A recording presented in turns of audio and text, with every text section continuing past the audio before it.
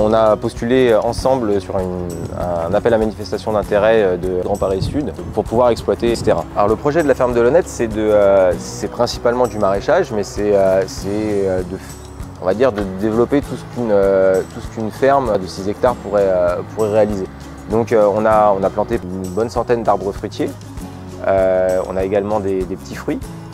Euh, le projet, c'est d'installer des poules pondeuses. Le terme biologique est très euh, précis, il est normé, il y a une, certification. Donc nous, notre démarche à Pierre et à moi, même avant qu'on se connaisse pour ce projet, c'était de faire de la culture biologique sans pesticides et sans engrais de synthèse.